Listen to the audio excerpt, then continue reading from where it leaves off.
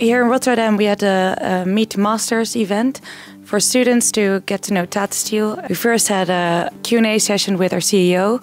Afterwards, we had uh, workshops, and in between, there was ample of uh, uh, opportunity to talk to trainees, directors, and other Tata Steel employees.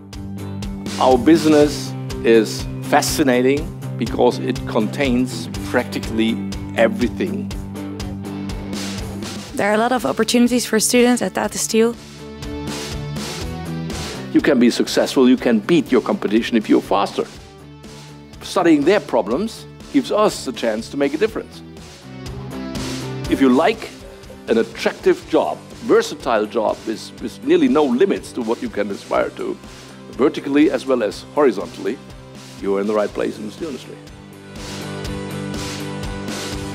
In the workshops, they got to know the day-to-day challenges for starters at Tata Steel and got to experience what kind of problems we have to solve.